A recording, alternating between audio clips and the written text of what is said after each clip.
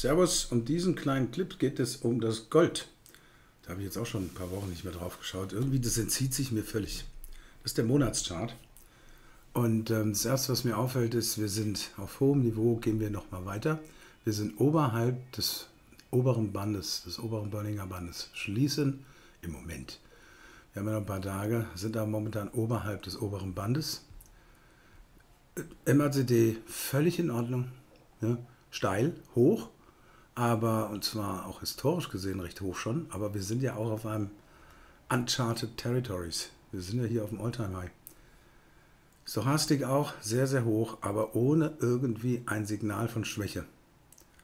Also auf Monatssicht kann ich sagen, es ist in Ordnung. Vielleicht ist der, die Distanz zur 200-Monatslinie ein bisschen hoch, 1000 Punkte. Aber das soll mich jetzt erstmal nicht weiter stören, muss ich ganz ehrlich sagen. Gucken wir mal auf die Woche die Woche. Mal ein bisschen näher ran. Natürlich auch hier Alltime High, auch hier über dem oberen Wochenband. Bekommt gerade eben über die traditionelle Sichtweise nochmal ein Kaufsignal auf, ja, auf einem normalen Niveau. Das ist aber auch in Ordnung. Und die Stochastik hat auch noch Platz. Schaut mal, wie hoch die hier war. Was haben wir denn da für eine Bewegung gehabt? Das ging hoch bis 1936 von 300 Punkte. Das ist nicht viel.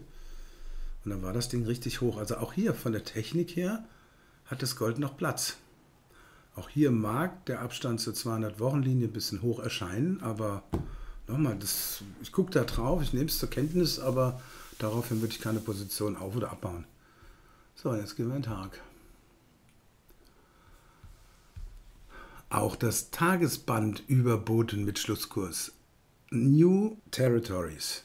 Da ist nichts zu wollen. Liegt nach wie vor sauber am MACD weiterhin nach oben gerichtet. Schaut auch mal hier, wie hoch das hier war. Das hat also diese, diese Balken hier, die haben schon eine Bedeutung. Und auch wenn das Stochastik hier alles in Ordnung überkauft, ja, vielleicht ein bisschen warm gelaufen, aber das war es auch. Was mir ein bisschen auffällt, ist, dass diese Unterstützung hier bei 2278 scheint mir recht wichtig zu sein. Und dann haben wir dann noch hier so einen kleinen Trendkanal gehabt. Der ist ja, der geht von hier einmal, zweimal und der ist ja nicht groß. Das sind ja nur, wenn ich das richtig sehe, was sind denn das? Das ist, ja, machen wir mal die 24, hier 294. Das sind 140 Punkte und den verlässt jetzt auch. Das heißt, es ist jetzt hier seit dem 9. Juli eine relativ enge Range gewesen. Jetzt geht er halt da oben drauf sieht für mich alles weiterhin positiv auf. Ich habe kein Verkaufssignal, kein ich bin extrem überhitzt Signal, nichts dergleichen. Deswegen, da musst du ja ein bisschen basteln mit den Scheinen. Ja, komm her.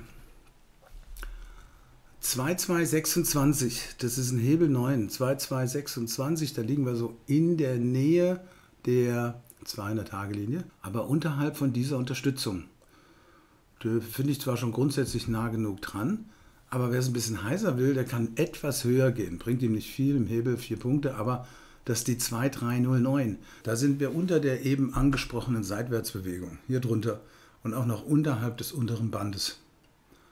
Finde ich, reicht völlig aus. Näher traue ich mich da nicht ran.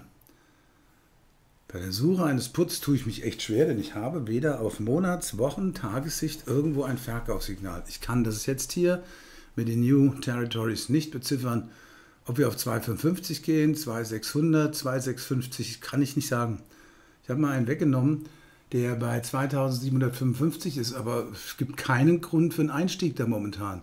Den kann ich mir überlegen, dann kann ich aber runtergehen, hoch mit dem Hebel oder runter mit der Basis, wenn wir die 20-Tage-Linie unterbieten oder gar hier diese Unterstützung bei 2352. Vorher nicht. Vielleicht mal zum Absichern von Positionen. Also ich finde, das Gold sieht nach wie vor ganz gut aus ist jetzt nicht mein Lieblingsinvestment, gebe ich ganz offen zu. Ich versuche am Dienstagmorgen Film über Nasdaq zu machen. Muss ich mal schauen, ob ich das hinkriege. Ich habe eine ziemlich stressige Woche vor mir. Ich wünsche euch ein Happy Trading und fette Beute. Bye bye.